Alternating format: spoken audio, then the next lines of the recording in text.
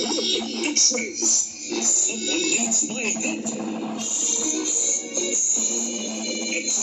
Bits.